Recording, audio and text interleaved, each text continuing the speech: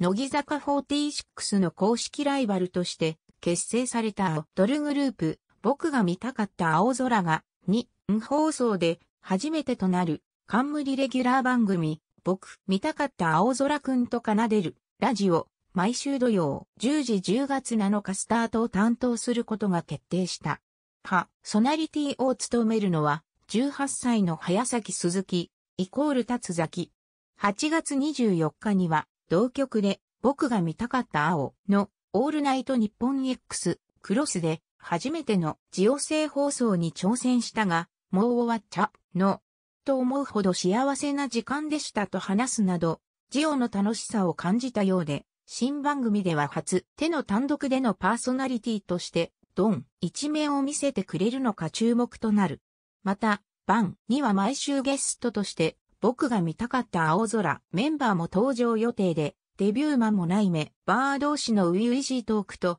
早咲のパーソナ、T としての成長を、ラジオを通じてた、リーとお届けしていくほか、ファンやリスナー、ら送られてくるメッセージにも答え、君とそう、る、ラジオのタイトル通り、リスナーと共に番を作り上げていく。早咲鈴木僕が見たか、青空の早咲鈴木です。私たち僕青が日歩放送のレギュラー番組をいただけることが決しました。ありがとうございます。先日の O ナイト日本 X ではもっともっとお話してたい、もう終わっちゃったのと思うほど幸せ、時間でした。これから毎週僕青メンバーの声、お届けできることがとても嬉しく待ちきないです。皆さん私たちと楽しい実感を、かご、抹消。